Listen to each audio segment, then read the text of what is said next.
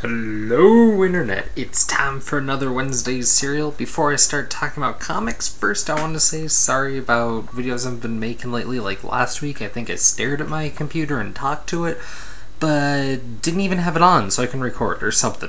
I don't know. Um, also, coming up, Comic Fest at Starfest in Denver. Should you be around, um, I'll be there grab me, say hi if you watch. That would be cool. Let me know. Um, April 20th through the 22nd, um, John Layman Rob Guillory of Chew will be there. Zach Howard of The Cape is going to be there. Freddie Williams, freaking Captain Atom Drar dude's going to be there. And Aaron Lopresti is going to be there. And, ah, and all the local people. And should be fun. Uh, should be a smaller affair than last year. Um, yeah, so I'm looking forward to that. Also, Stan Yan did this little art bit here. Um, if you're unfamiliar with Stan Yan, does a lot of awesome stuff. I would highly recommend checking out The Wang. It's an awesome comic. Um, also, he does Subculture, which is a webcomic. Just Google subculture, and I think it should pop up pretty easily, or subculture webcomic. There you go. That will pop it right to the top, and uh, it's it's a fun read. You know, start from the beginning. Whatever. I, I bought some collected editions a while back. Um, help support the guys, but it's a fun comic. You should definitely check it out. So um, there was all that, and let's move into more of what people watch for. So, first up is Age of Apocalypse. I gave the second issue a read, and um, it seems like they're working very hard to take any interesting characters and make them boring. They uh, stripped Jean Grey and Sabretooth their powers last issue, which isn't to say that couldn't be interesting, but um, the way they're playing it, it really isn't. And maybe they're getting to something cool, but it's such a slow build and that seemed to be the crux of this issue and for it to kind of not pay off in any way it's just kind of oh, how do you pay off someone taking away someone's powers? You make them interesting. They had an idea to lead to it but then they never bring it to fruition and then there's a bunch of other small pieces moving and it just feels like this comic's trying to do way too much, and my theory is it's going to lose a lot of readers all too quick, and it's never going to get a chance to get there.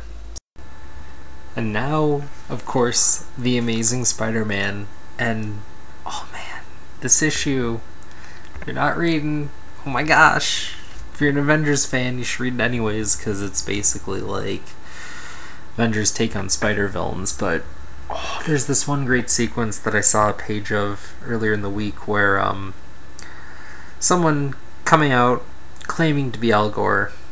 I say claiming because the way the art's drawn looks nothing like Al Gore. They get some other figures in there, so I can't draw Al Gore. I don't know. But Spider-Man punches him out. Bam!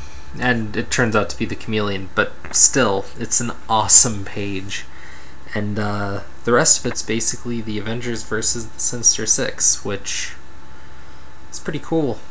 So, yeah. I don't know really what else to say here. I mean, it's just it's just fun. Chew 25 is uh, amazing as Chew ever is. How they come up with the stuff they come up with it's amazing. And usually, usually, it's all the food references. This time, for this whole chapter, it's been all about the sports references, which never seemed to blend well with comics before. You know, NFL Super Pro putting weird athletes into cameos for comics. But this, this works. I mean, if there's any comic you should be picking up, Chew Dang. Alright. Daredevil 10.1.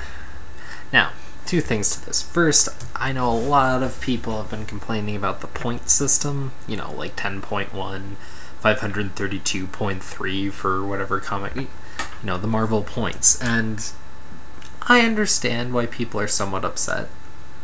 Not that anyone's too horribly upset, but I mean, the thing is, is they used to throw in negative ones or zeros in the middle of something, and trying to keep track of that is insane.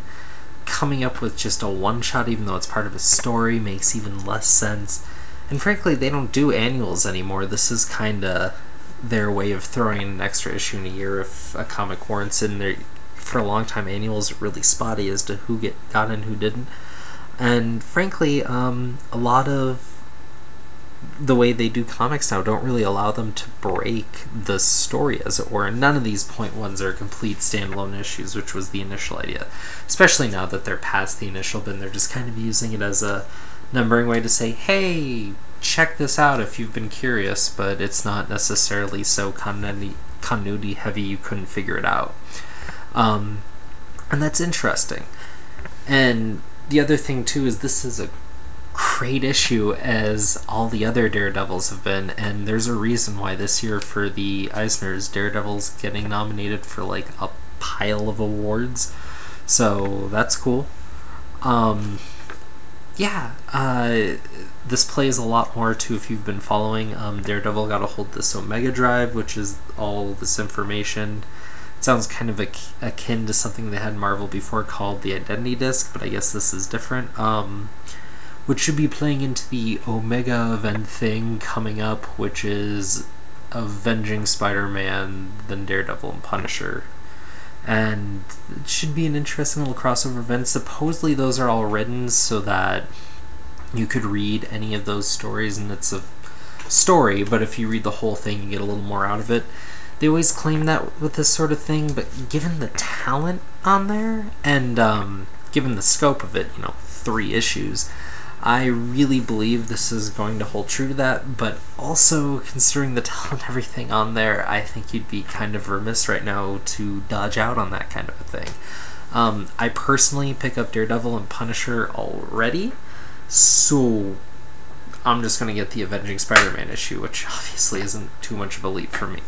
So, yeah, but um, definitely, of course, love to hear about any pre-thoughts you have on that sort of thing.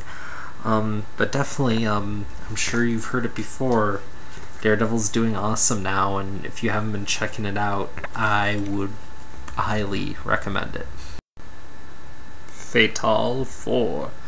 And it was good, but it was fucked up. Um, yeah, I mean, starting to actually get to the crime of the crime comic, and there's nothing else that I could say without really spoiling it. But speaking of that, I was hearing a really interesting bit. Um, basically, it was a recorded panel with um, Rucka and Brubaker. Um, God, what is this? The third video row I'm referencing Word Balloon? But, uh, anyways, um, they had this interesting discussion where, um, I don't know if it was Rucka or Brubaker actually, was saying that they can't write a mystery but they can write crime, and really the difference is they just give you who done it out the gate, whatever. Um, but they focus more on the implications and how things move along and how people reach the who done it rather than you just finding it out and crafting a whole mystery around that. And it, it's interesting because um, when you think about that from a craft standpoint, I mean the only difference is, I mean, instead of like putting all these pieces together and doing it, watching someone figure out when you have the answer is also is removing that answer, playing around that, especially at the scene of the crime, because you can't give it away, but are you showing it? Are you not?